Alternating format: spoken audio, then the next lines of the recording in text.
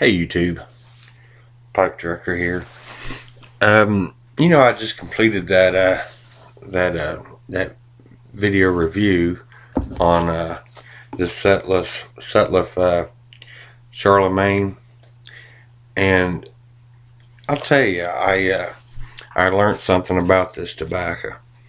Um, you know, after I made the video, I um, I finished that bowl and um, I learned something. Um, I sat back and turned on the TV and um, just relaxed and um, just puffed on my pipe. Took my time and uh, the flavor totally changed. Um, and I think that's a problem that um, we're making um, when we're doing these reviews on different tobaccos.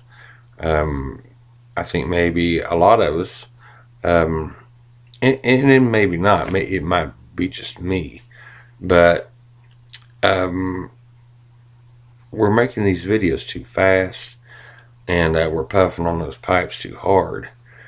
And um because, um, like I said, um, when I kicked back, I relaxed and uh, I just puffed on my pipe.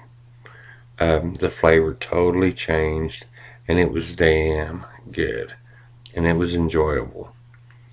And um, um, one of my favorite tobaccos of Sutliff is the Molto Dolce, and I would put this up there just just close to it.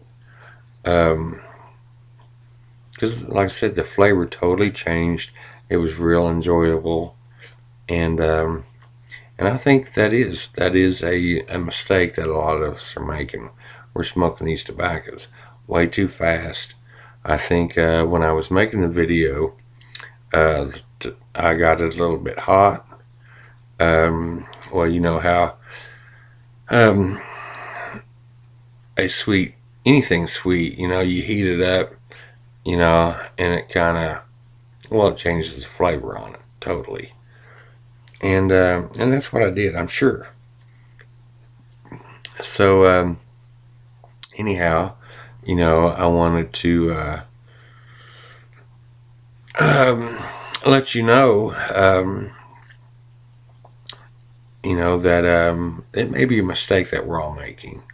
Um, I know I did and um, and I thoroughly enjoyed this after I made the video. So in my future videos, um, I know to uh, I know the mistake I made. You know, um, so my future videos, you know.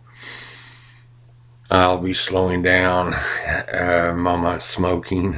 Um, and, uh, you know, with uh, you, YouTube, you know, you got you got 14 minute window. Um, so you're trying to get as much done in there as you can.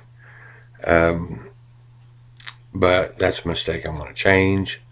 Um, I'm going to slow down and uh, really get into to the flavor.